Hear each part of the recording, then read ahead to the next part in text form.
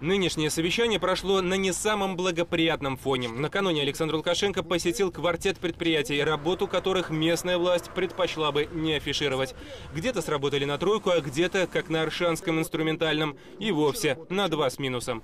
Обнаружены и недоработки, решили не чинить кровлю, положили асфальт прямо в траву, не удосужились убрать территорию, хотя и это характеризует руководство завода и уровень контроля со стороны курирующего министерства. Но что важнее, вскрыты системные просчеты в обновлении обновлении производства. На предприятии, которому как воздух необходимы новые станки, увлеклись обсуждением и конкурсами, при том, что рядом есть предприятие, которое может собрать и поставить нужное оборудование. В итоге за год запустили не новый цех, а всего четыре станка. Промышленность в Орше приличная. И я уже отмечал, эта промышленность, предприятия промышленности востребованы в стране. У нас машиностроительная страна, обрабатывающая страна обрабатывает огромное количество металлов и прочего сырья. И для этого нужны, к примеру, инструменты для того, чтобы обрабатывать металл. Поэтому я уцепился за инструментальный завод. Всем было хорошо. Полсотни, 50 миллионов долларов примерно импортировали инструмента при живом инструментальном заводе. И никому до этого нет дела.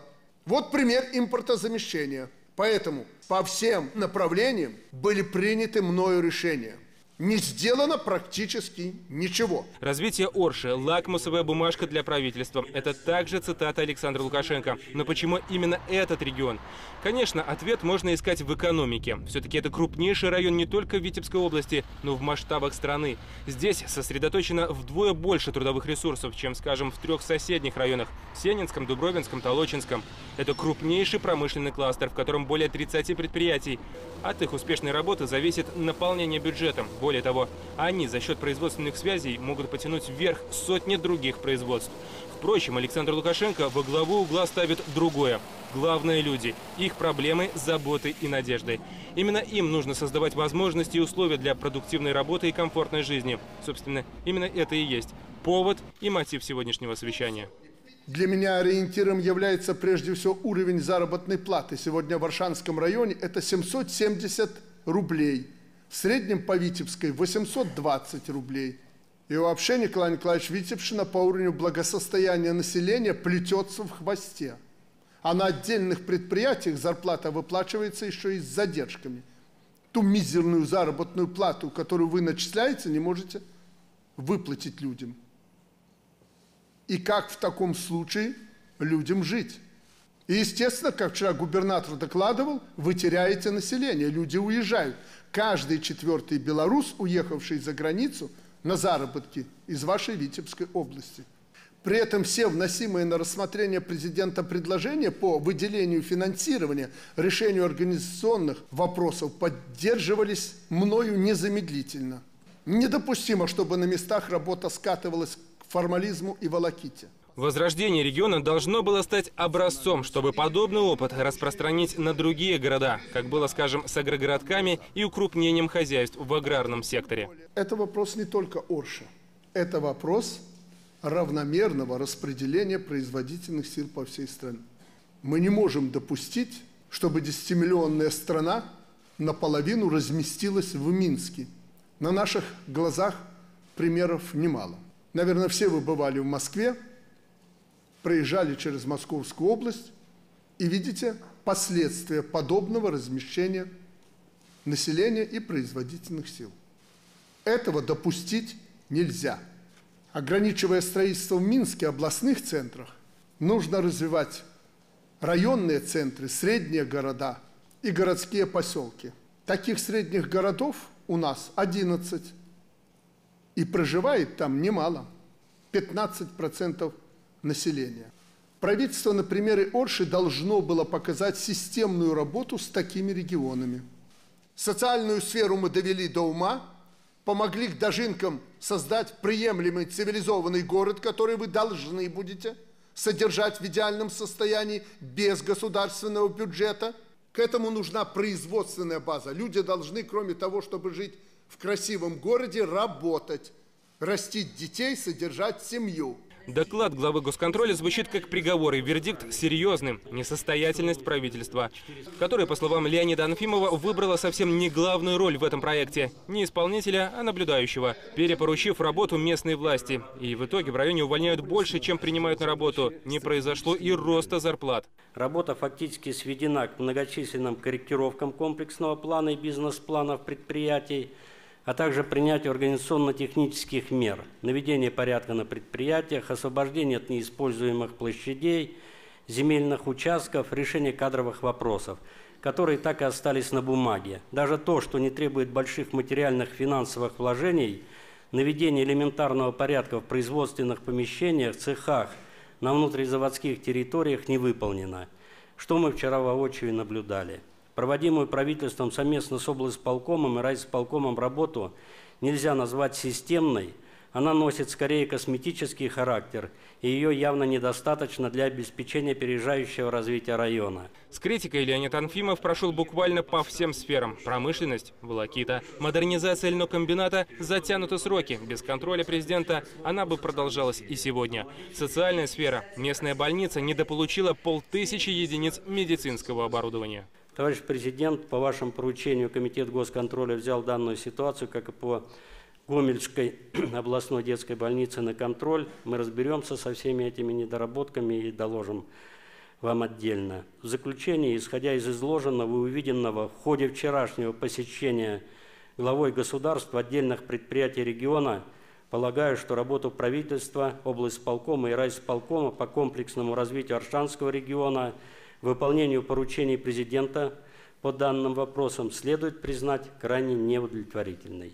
Глава администрации президента Наталья Качанова проблему видит в том числе в отсутствии налаженных связей между исполкомами. Районы и области не работают в связке, а должны. Орше, между тем, принадлежит второе место по количеству обращений в администрацию президента. Что касается правительства, там, конечно, включили административный ресурс, но мощных современных инструментов развития не представили. Наталья Ивановна, вы приезжали по моему поручению для того, чтобы посмотреть как реализуются те поручения, которые мною были даны. Вот вы приехали первый, второй, третий раз. Ваше впечатление?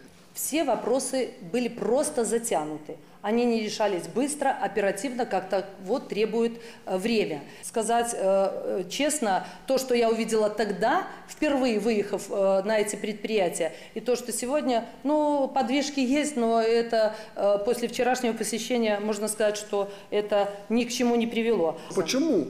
Э, Кобяков с компанией не выполнили мои поручения. В чем причина? Вы же это должны были почувствовать. Надо было продумывать шаги эффективные, решать эти вопросы, возможно, где-то по привлечению инвесторов, по созданию совместных предприятий и производств, думать о том, что будет выпускать.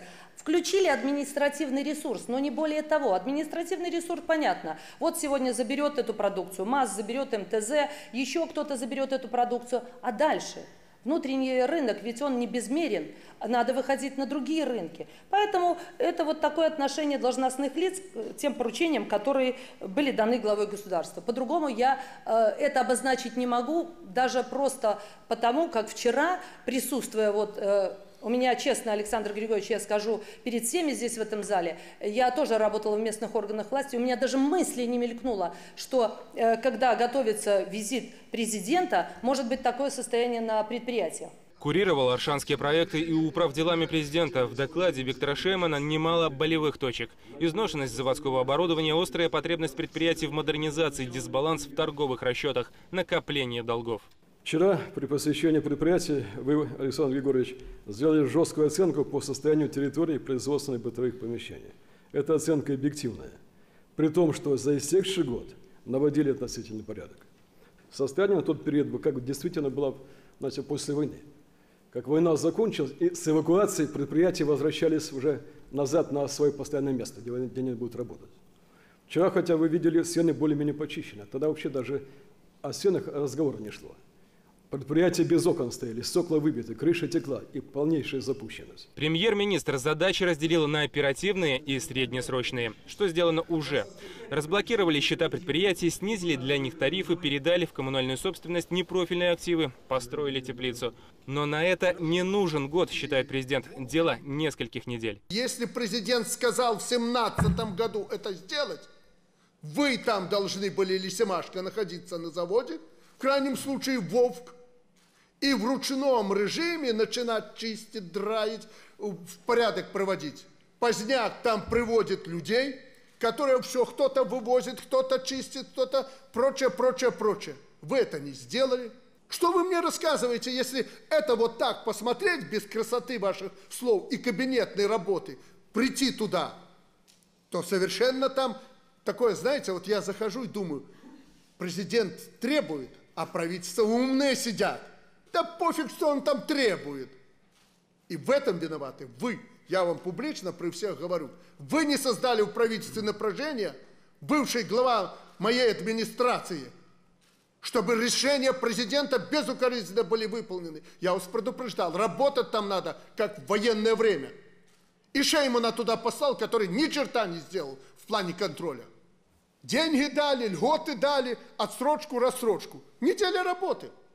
Неделя работы. И когда это еще сделано вопрос, если я в апреле 2017 года поставил задачу, сформированы перечни неэффективного использования имущества. Перечни сформированы. То есть на лист начертили, написали, что под бульдозер, а что продадим. Неделя работы. Определены для реализации конкретные инвестпроекты. Мы у него были, у нее были – понятия не имеют, что завтра делать. Какие конкретные проекты? Зарегистрировано в чешской компании э, предприятие. Завершен первый этап модернизации Аршанский инструментальный завод. Крышу отремонтировали, это первый этап. Стыдно читать. Эхо вчерашнего дня постоянно сопровождало нынешнее совещание. Александр Лукашенко напомнил, никому не позволено заниматься очковтирательством и показухой. Главная оценка усилий – это результат. Поехал в Барань, они мне начали рассказывать. Ну, я, естественно, привезли, где-то там отмарафетили, зашли, флаги и прочее рассказали. А когда пошли не по маршруту, женщина, руководитель э, завода – в некоторые кабинеты как-то технологических этажей, где люди работают, конторы, зашли, жуть. И вы мне что-то рассказываете, спрашиваю, что с этим зданием? Супер здание, таких нет зданий в стране. Это мы на продажу, это под бульдозер, это туда. А поставлена была ЗАСу и Двигалеву задача при назначении, что все помещения должны быть задействованы. Мы там должны создать образцовый комбинат ВПК, завод ВПК. После таких неутешительных итогов Александр Лукашенко принимает жесткие кадровые решения. Они коснулись правительства и обладателей министерских портфелей. Причина одна – пофигическом отношении правительства к поручению президента. Поэтому на этой неделе внести предложение по замене всего руководства правительства. Всей верхушки из резерва кадров, который мною сформирован и у вас находится – Хватит смотреть им в рот, и они будут все нам рассказывать, как им сложно, как им трудно. В бухгалтерии зарылись, всех до единого. Внести предложение по министру промышленности и по министру строительства. Он сидел, не мог отремонтировать крышу, выполнить поручение президента. Кто имел право отменять мои решения? Поздняка отправить в отставку и найти ему другую работу. Как вариант, Вовка направьте сюда, который будет вытягивать всю эту промышленность. В какой должности, я вчера Шесневу сказал, пусть определяются. Не сделает, пойдет туда, куда я вчера сказал. Все надо было бросить сюда, чтобы показать, что президент в стране есть, и он управляет страной, если уж на то пошло. А вы занялись саботажем. Также у главы государства накопилось немало вопросов к вице-премьеру Василию Жарко, который курирует социальный блок. Больничные комплексы вводятся не полностью оснащенными. И Орша не единственный случай. Вы почему не обеспечили выполнение моих поручений, как я сказал? Александр Григорьевич, мы начали строительство в июне месяце. Я знаю, что вы там сделали. Почему не оснастили? Почему не пришли ко мне, не сказали, что вы не, не можете выполнить? Не успели закупить, если процедуры... э, Почему у вас коррупционер на коррупционере сидит и коррупционером погоняет, а тут вы не успели? Александр В Григорьевич, Гомеле вы не успели, здесь вы не успели. в текущем году Садитесь. После вчерашних визитов на заводы президент объявил строгий выговор губернатору Витебской области Николаю Шерстневу. А за развитие Орши отныне отвечает не правительство, которое себя скомпрометировало бездействием, а связка из администрации и управделами президента, а также комитета госконтроля. Разумеется, при участии местной вертикали. Строгий выговор Шерстневу за безобразное, безответственное отношение к порученному делу. По руководству правительства я сказал, Вовка Черного немедленно отправить в отставку. Двигалеву Засю полное служебное несоответствие. Не поправят к осени дело, не доложат мне по каждому предприятию, пойдут туда же. Всех остальных ответственных и прочих я просто предупреждаю. Представите нового руководителя председателя исполкома сегодня и поставите каждому задачу по всем предприятиям. Вы, Анфимов и Шейман. Чтобы это было реализовано, попробуем без правительства это реализовать. У нас есть некоторые резервы в бюджете и банки. Мутюшевский знает, что делать с банками. Пусть подставляют плечо, и бюджет в том числе. И не дай бог, к 7 ноября не будет здесь подвижек. Я уже вчера сказал. Я приеду, посмотрю, будем польноводствующее совещание проводить. Не дай бог, мой глаз зацепится, где-то что-то не так. Меньше круг ответственных, эффективнее результат. Похоже, по такому принципу отныне будет строиться работа по исполнению аршанских поручений президента. А потому совещание сегодня продолжилось, но с меньшим количеством участников. Александр Лукашенко принял решение перевести Аршанский регион на режим особого функционирования. И впереди большая работа. Довести дело до конца – дело чести не только для управленцев, для всей страны. А развивать регион государство намерено не столько ради прибыли и экономических результатов, сколько для того, чтобы люди предпочитали жить и работать здесь, на своей малой родине. Александр Злобин, Анна Пыш, Сергей Вяль, Александр Автухов, ОНТ.